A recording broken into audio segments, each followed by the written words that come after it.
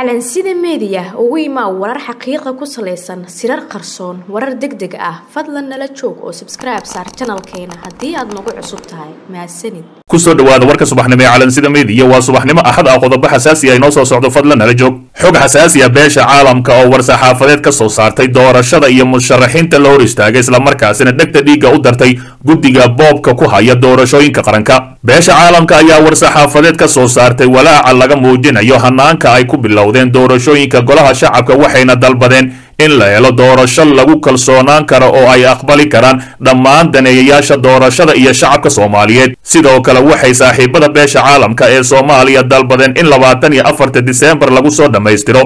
Doorashada golaha shacabka kadibna si deg deg ah lagu soo gebagabeeyo doorashada madaxweynaha cusub waxaan ku baaqaynaa in daahfurnaan buuxda loo sameeyo dhammaan geedi socodyada la xidhiidha oo ay ku jiraan magacaabista guddiga soo xulista xulista ergada diiwaangelinta musharaxiinta kuraasta kuraas uxirista haweenka musharaxiinta ah si loogu hoggaansamo qoondada boqolkiiba soddon ee lagu heshiiyey iyo maaraynta lacagaha musharaxiinta ayaa lagu yidhi qoraalka ka soo baxay saaxiibada beesha caalamka. Waxa aan sidoo kale ugu baaqaynaa guddiyada doorashada in ay fududeeyaan korjoogtaynta dhammaan howlaha goobaha codbixinta ayaa lagu yidhi warbixinta. Sidoo kale waxay ku adkeeyeen howlwadeennada doorashada inay tixgeliyaan xaqa ay musharaxiinta u leeyihiin inay isu soo taagaan doorashada iyada oo la marayo jawi ku dhisan tartan dhab ahi oo xalaal ahi. Taa ayaa jawaab iyo garab istaag cad u ah guddoomiyihii hore ee baarlamaanka master jawaari oo laga hor istaagay inuu isku sharaxo kursigiisa. Hase ahaatee beesha caalamka ayaa marnaba aqbali doonin doorasho boob ahi waxaan ku dhiiragelinaynaa ergooyinka iyo musharaxiinta doonaya inay soo gudbiyaan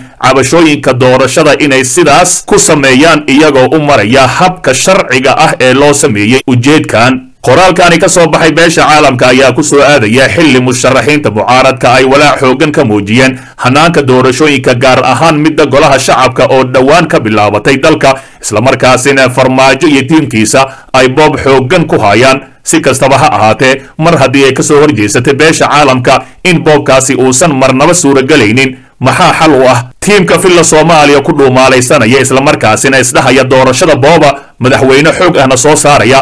Taas cid ka ogolaanaysa ma jirto dalkana waxay u horsaydayaan dagaal sokeeye. Qoraalkani waxaa si wada jir ah u soo saaray howlgalka midowda afrika ee soomaaliya amisom biljimka canada denmark etoobiya midowda yurub fiinland faransiiska jarmalka urur goboleedka igad airland talyaaniga jabaan kenya ururka jaamacadda carabta holland norweyn poland qatar ruushka suudan sweden switzerland turkiga uganda boqortooyada midoobay ee britain dowladda maraykanka iyo qaramada midoobay. Fadlan dib u daaw wararkeenii hore ee calansida meediya bismi illaahi raxmaani raxiim assalaamu calaykum waraxmat ullaahi wabarakaatu walaalayaal sida aan la wada soconno duruufo adag ayaa soo food saaray kumanaan ka mid ah dadkeena soomaaliyeed. Kadib markii ay ku habsatay ama ku habsadeen qeybo badan oo ka mid ah dalka abaaro ba'an oo galaaftay naf iyo maalba.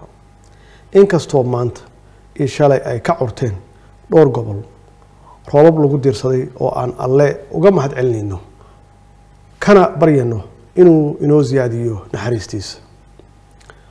Wakhtigan adag waxaa loo baahan yahay shacabka soomaaliyeed inay u midoobaan sidii ay isaga gacan siin lahaayeen duruufaha nololeed ee adag. Iyadoo aynu maal iyo muruqba isugu geynayno gurmadka waalaha dhibaataysan ee gaajada iyo biyo la'aanta ay hayso.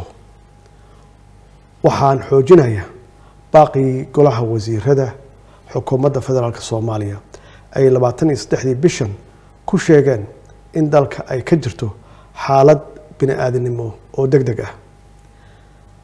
Anigoo faraya dhammaan hay'adaha dowladda inay si mug leh ugu istaagaan ka jawaabista xaaladdaas adag ay ku sugan yihiin gobollo badan oo ka tirsan dalka.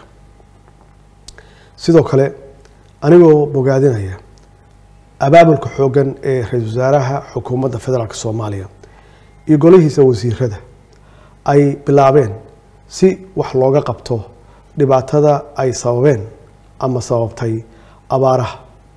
Waxaan u soo jeedinaya dhammaan shaqaalaha rayidka ah iyo kuwa gaarka ah in si la mid ah tallaabada ay qaaday xukuumaddu oo labaatan boqolkiiba u jaray mushaharkooda gurmadka abaaraha in ay ku daydaan oo door la mid ah kaas ay qaataan. Walaalayaal waxaa muhiim ah inaynu badinno alabariga iyo roobdoonka waxaan rajeynayaa in dalka oo idil aynu ku qabanno roobdoon midaysan oo qabsoonta maalin cayiman iyadoo aynu la imaanayno asbaabaha dembi dhaafka iyo naxariista alle oo ay ugu horeyso alla ka cabsi iscafinta sadaqada iyo isu naxariisashada. Wabilaahi towfiiq wasalaamu calaykum waraxmat ullaahi wabarakaatu beesha uu ka dhashay madaxweynihii hore soomaaliya xasan sheekh maxamuud oo sheegtay in ay gebi ahaanba ka baxayso maamulka galmudug kadib markii kuraastooda halkaasi lagu boobay. Dowladda federaalk soomaaliyana baaq culus u diray. Nabadoon cali xasan jeeste oo ah nabadoonka guud ee iska leh saxiixa kursiga golaha shacabka ee beesha waceysle oo lagu soo saaray dhagarqaba yaasiin ferey ayaa ku hanjabay in beeshiisu ay isaga bixi doonto awood qaybsiga maamulka galmudug haddii aan boobka laga daynin xaqeeda nabadoonka oo hadalka jeediyey kulan ay isugu yimaadeen waxgaradka beesha waceysle ayaa ugu laab qaboojiyey beesha in saxiixii ay u dhiibteen uu hayo islamarkaasina aysan socon doonin wax aysan raalli ka ahayn. Sidoo kale nabadoon jeesto ayaa madaxweynaha galmudug qoorqoor ku eedeeyey inuu inkiray oo xaqiray iskuna dayey inuu xaqiro xaqa beesha waceysle beesha waceysle ayaa ka dhashay madaxweynihii hore soomaaliya xasan sheekh maxamuud. Madaxweyne qoorqoor waxaan u sheegayaa kursigaasi waxaa iska leh beel weyn. Beeshaas weyn haddaa xaqeeda boobto hal wiil ka doorato oo aad ka tashato ayaguna waa kaa tashanayaan. Waxaana moodnay in galmudug aan wada leenahay ay meesha ka jirta. Koraad u haysanee waxaad keligaa isku koobtay ayuu yidhi nabadoon jeesto. Nabadoonka ayaa dowladda federaalka u sheegay in kursiga loo boobay yaasiin ferey uusan ahayn mid la boobi karo. Waad ku qaldanteen dad adag ayaa iska leh kursigaasi haddii sharci shaqayn waayo. Sharci darro cid nooga adkaan karta ma jirto waxaan nahay. Dadka laga baqo inay wax boobaan ee annaga nalama boobi karo ayuu yidhi nabadoon jeesto nabadoonka ayaa sheegay in waxa dalka ka socdo aysan doorasho ahayn. Si kaas ahi waxaan ula hadlayaa waceysle. Waad u jeedaan sida galmudug noola dhaqmayso maamulkii aan ku biiri lahayne aan ka tashanno galmudug wiil ayay naga dooratay. Ha haysato annagana dhulkeenna ayaan xoraysanaynaa waana degaynaa ayuu yidhi ugu dambayntii nabadoonka oo fariin u diray yaasiin ferey ayaa u sheegay inuu istaahilo inuu matelo beesha wacaysle laakiin aysan ka yeeli doonin inuu boobo. Si kastaba ha ahaatee waa qabiilkii ugu horreeyey oo si toos ugu hanjabo dowladda federaalk soomaaliya iyo maamulka galmudug. Dhinaca kale doorashada kursiga hob boqol iyo saddex ee uu ku fadhiyey guddoomiye jawaari oo la hakiyey guddiga doorashooyinka heer federaal ayaa go'aan xasaasi ah ka soo saaray. Muranka ka taagan kursiga uu horay ugu fadhiyey guddoomiyihii hore ee golaha shacabka soomaaliya maxamed sheekh cismaan jawaari oo ah hob boqol iyo saddex. Warqad ka soo baxday xafiiska guddiga ayaa waxaa lagu sheegay in cabasho ay ka timid jawaari taasi oo la xiriirta habaraaca loo maray diiwaangelinta kursigaasi. Sidoo kale guddiga ayaa sheegay in shir ay ka yeesheen arrintaani kadib la isku raacay in la hakiyo doorashada kursiga ilaa iyo inta laga xalinayo dabashada ka jirta guddiga ayaa sidoo kale faray guddiga doorashada koonfur galbeed inuu dhaqan geliyo. Go'aankaasi islamarkaasina uu joojiyo qabashada doorashada kursiga hob boqol iyo saddex. Go'aanka guddiga ayaa ku soo aadaya kadib markii jawaari oo magaalada baydhabo ee xarunta maamulka koonfur galbeed u tagay tartanka doorashada uu sheegay in laga hor istaagay musharaxnimadiisa. Meeshana ay ka jirin doorasho dahafuran oo cadaalad ah ayuu yidhi sidoo kale waxa uu sheegay in si bareer ahi loo samaynayo gaboodfal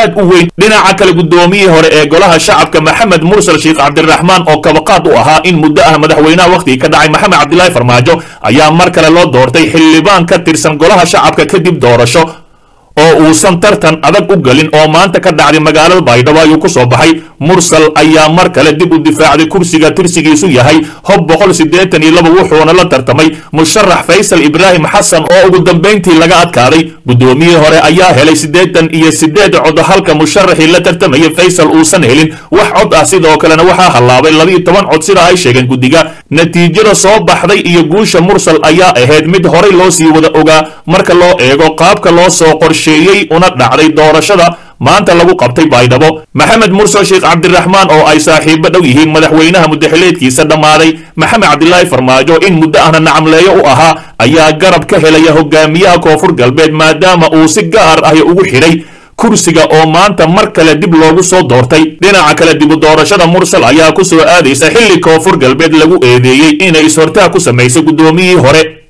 maxamed sheekh cismaan jawaari oo toddobaadkani ku soo laabtay gudaha magaalada muqdisho. Si kastaba ha ahaatee boobka filla soomaaliya ma sii socon doontaa mase waa laga hor istaagi doonaa dhegaystow ogow haddaadan xalka qayb ka noqon waxaad qayb ka tahay dhibaatada dalka